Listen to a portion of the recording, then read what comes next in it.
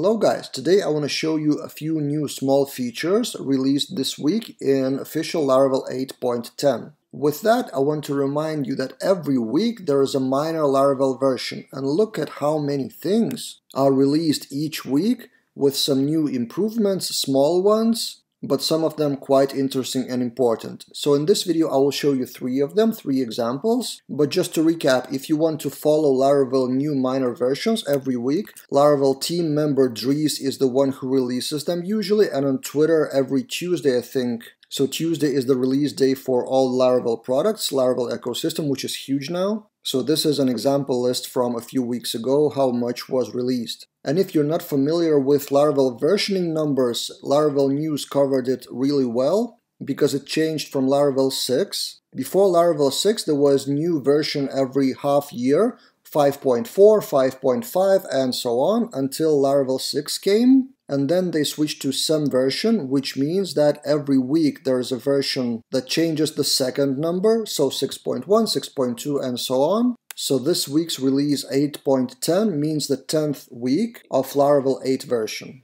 And then still every half a year there is a new Laravel major release, which will be Laravel 9 probably in some February or March, and then Laravel 10 in August or September, something like that. But for example, if today you do Laravel new something, it will install Laravel 8.10.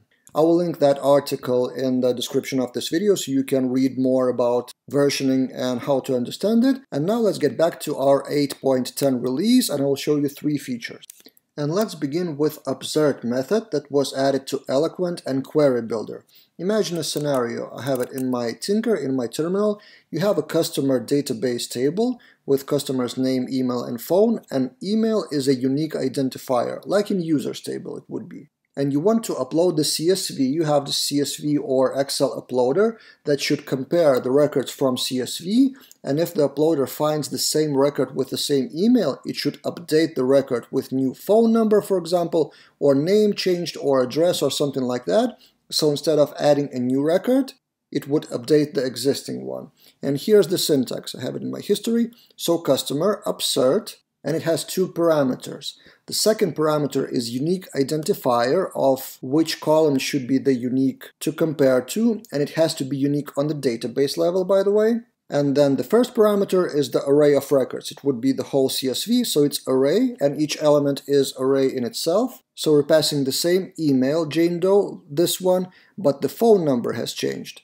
And if we launch that, and then we launch customer all again, as you can see, the phone has changed and also updated at has changed. But if, for example, we launch customer Upsert with a different email, for example, jane2.docom, and now we go customer all, as you can see, a new record has been created. So this is upsert, and it works with Eloquent and with Query Builder as well.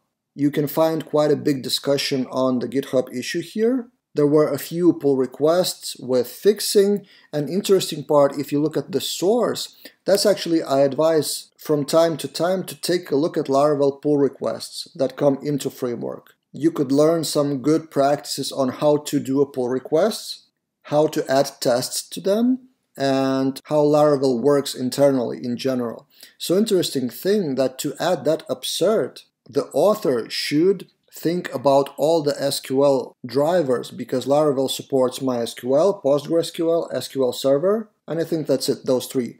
So by default, grammar says that this database engine does not support upserts, so this is a fallback for the future. But then we go to MySQL grammar and upsert is implemented this way, then Postgres Grammar in a different way, and then SQLite Grammar, or actually fourth, SQLite, I forgot that, so SQLite grammar and then SQL Server grammar. So see how much is happening under the hood just to launch one eloquent statement. So this is an example pull request. Oh, by the way, the tests are really important. So how to write tests for the framework you can learn from the pull requests as well. So that's new feature number one, Upsert. Another interesting new thing is multiple of validation rule. So if we open that up, it was well documented in the pull request itself. So new validation rule multiple of and then the number. An example of that is in my Tinker again. I'm making the validator. So this is the request, amount is 115 for example. The validation rules are multiple of 5, so imagine this amount is in cents, and I know that some countries operate the currency, the coins, with 5 cents or more, so they don't operate with 2 and 1 coins, so any amount paid in the shops should be 5 or more and divide by 5. I think it was in Sweden or Denmark or something like that, maybe I'm missing the country, but anyway, any amount should divide by 5, multiple of 5, and this is the validation rule message that appears for the user. And if we click that, validate, here's our validated data and this is correct. But if we change to 116, for example, we have an exception and if we, in my history, I will find this one. If we look at the validator errors, and if we try to launch that, I've restarted my Tinker to show you, and then we launch print r validator errors. Message bag it is called of errors. This is the object or array with validation errors and one of them or the only one is amount should divide by 5 which is exactly the message that we provided. So if you want any of your numbers be a multiple of some number this is the new validation rule for you. And the third new feature I want to show you quickly is new line on console commands for artisan commands. So if we create our own artisan command, sometimes we need new lines to appear in the output. So current way or older way of doing that would be just info empty line or doing backslash n or something like that. So the author of that pull request created this new line. So if you have artisan command, instead of doing info like this, you can do a new line. And not only that, there is a parameter of how many new lines it would be.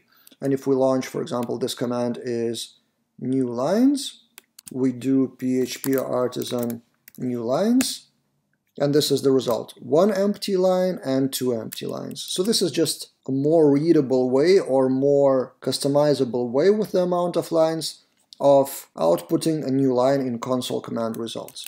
So that's it for this video. You can review 8.10 release all the new features. Majority of them are really small, but maybe it will improve your Laravel experience. And again, follow Dries on Twitter every Tuesday. There is a new release day for Laravel ecosystem. And if you want to check out all the releases, so you go to Laravel framework on GitHub, then you click releases, and you have the list so 8.10 and then before that there was 6 point something 8.97 days ago so releases are really well documented and you can find any news not on Laravel news or my YouTube channel or whatever but directly in Laravel framework GitHub repository. That's it for this video. If you want more videos like this one support this channel by subscribing and telling your friends to subscribe and by using our Laravel admin panel generator at quickadminpanel.com or enrolling in one of my Laravel courses at laraveldaily.teachable.com. See you guys in other videos.